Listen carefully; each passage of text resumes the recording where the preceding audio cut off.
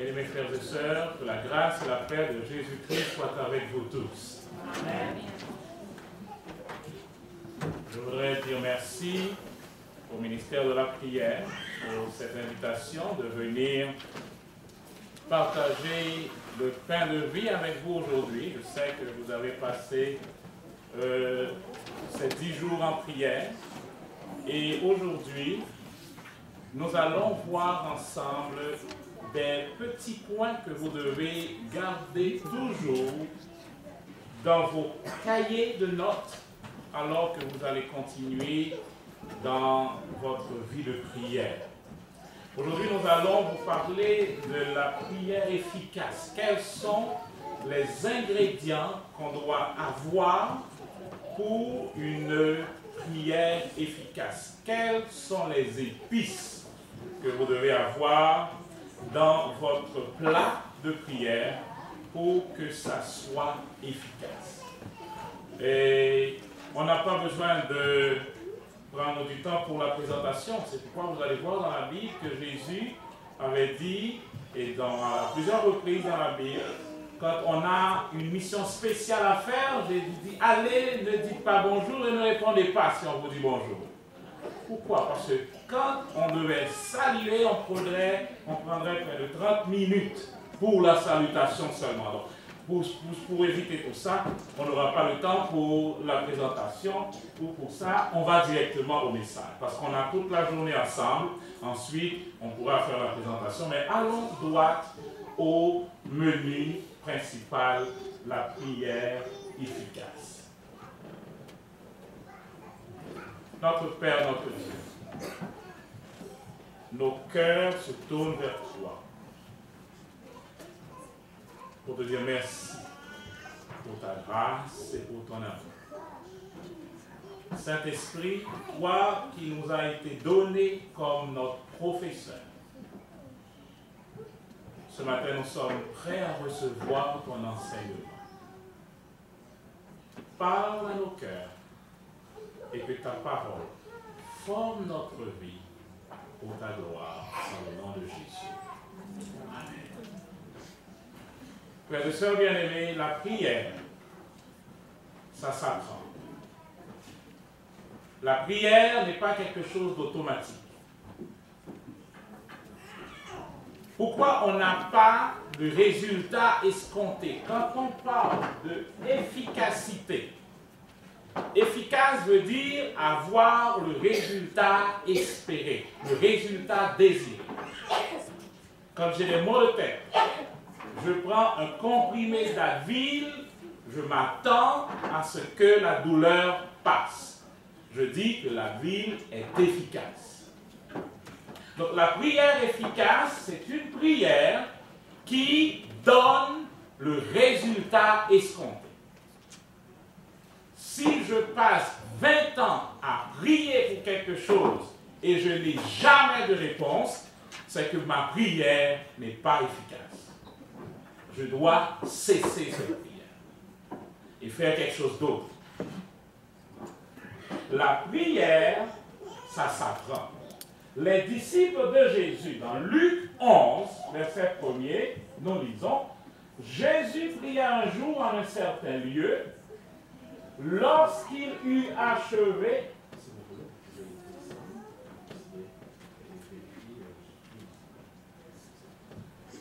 et je pense que moi aussi, je sens pour ne pas avoir l'idée que, je prêche, je voudrais rester un peu plus près Oui. Alors, nous disons que Jésus priait un certain jour, lorsqu'il l'achevé, un de ses disciples lui dit, Quoi? Je voulais voir si vous aimez lire. Allez, allez. Quoi? Ah, Seigneur, enseigne-nous à prier. S'il lui dit d'enseigner à prier, c'est parce que la prière, c'est quelque chose qu'on doit apprendre. Je vais dire une autre chose. L'amour, ça s'apprend. C'est pourquoi il y a beaucoup de mariages qui font naufrage. Parce qu'on entre dans l'amour sans prendre le temps d'apprendre l'amour. L'apôtre dit, dit aux femmes âgées qu'elles doivent avoir l'extérieur qui convient à la sainteté, n'être ni médisantes, ni à donner au vin, qu'elles doivent donner de bonnes instructions dans le but d'apprendre aux jeunes femmes à aimer leur mari et leurs enfants. L'amour, ça s'apprend. La prière, ça s'apprend. On n'entre pas dans le programme de la prière, on n'entre pas dans le mariage sans avoir les formations pour le mariage ou pour la prière. Vous priez comment vous priez? Parce que vous avez vu faire un tel prier ainsi, et vous dites, bon, voilà comment il prie, alors c'est ici qu'on prie. Et vous vous mettez à prier comme faire un tel. Mais les disciples ont vu Jésus prier.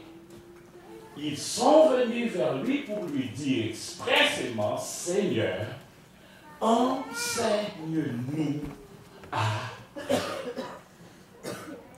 et Jésus va dire, allez, faites de toutes les nations des... Oh, nous avons tout un trimestre pour parler de disciples. Aujourd'hui, nous avons vu la prière et le disciple. Donc, vous êtes déjà des disciples. Oui ou non? Vous ne savez même pas. Vous êtes disciples, oui ou non? Oui. Et je vais vous donner un secret. On m'a donné un nombre de temps à respecter j'ai un petit défaut. Si vous ne réagissez pas, je vais prendre plus de temps. Parce que je vais dire, vous n'avez pas répondu parce que vous n'avez pas encore compris. Et je vais avoir tendance à continuer jusqu'à ce que vous compreniez. Vous comprenez là? Ok. Alors, allez, faites de toutes les nations des disciple. Un disciple est un étudiant. Donc, si je suis à on me dit de prier en tant qu'élève, la première chose que je dois demander, comment prier. Sinon, je vais faire quelque chose qui n'aura pas le résultat escompté. La parole dit, tout le monde prie, aux toi qui écoutent les prières, tous les hommes viennent à toi, tout le monde prie, partout on prie. Et la prière, c'est l'une choses les plus abusées, la plus abusée. La prière, c'est l'une des choses qu'on n'a pas vraiment compris à l'intérieur de l'Église. Jésus dit, vous devez les apprendre. L'important pour Jésus, c'est ça, Luc 6, 40 dit, tout disciple accompli sera comme son maître. Hmm.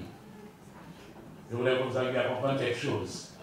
Le disciple accompli, le texte dit, allez faire de toutes les nations des disciples et le disciple accompli est comme son maître. Là, je vais vous déranger. Et c'est pourquoi le malin ne veut pas que vous deveniez des disciples accomplis. Pourquoi? Vous savez pas Parce que vous serez comme le. Ah, parce que le disciple accompli sera exactement comme Jésus. Satan a vu ce qu'il a pris avec un seul Jésus. Donc, quand tous les frères de Gatineau sont comme Jésus,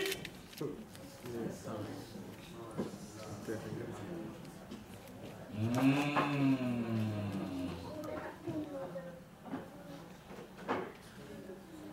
C'est exactement ce que vous devez comprendre, ce que Dieu veut de vous, que vous soyez exactement comme Jésus.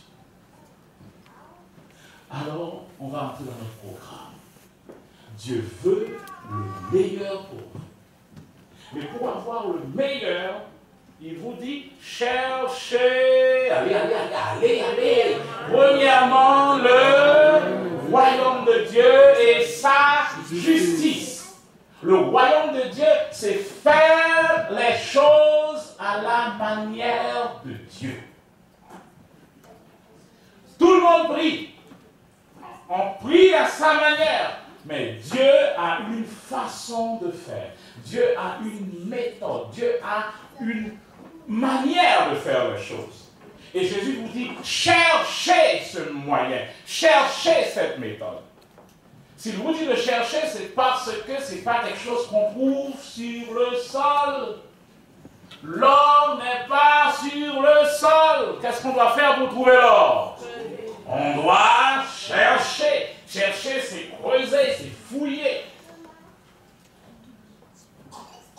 Et c'est pourquoi nous sommes là, pour connaître la méthode de Dieu, la façon de Dieu de faire les choses. Et qu'est-ce qui va se passer une fois que je découvre la méthode de Dieu? Qu'est-ce que je fais? Je vais, oh, si, il y a, quelque chose qu'on appelle, on appelle des médecins fous. Vous connaissez les médecins fous? Je vais vous dire, c'est quoi un médecin fou? Un médecin, un chirurgien entre dans une salle d'opération, il va opérer quelqu'un qui a un cancer au poumon. Et il dit, je sais pourquoi cette personne est comme ça. Pourquoi? Parce qu'il a fumé.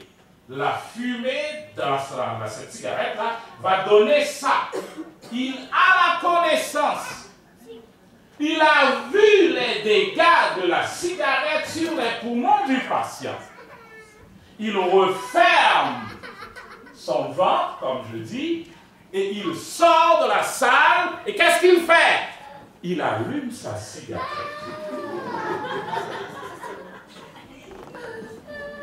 Il est un médecin fou. La sagesse, c'est appliquer ce que vous avez appris. Celui qui est sage, vous avez la connaissance, vous avez appris la chose, maintenant qu'est-ce que vous devez faire?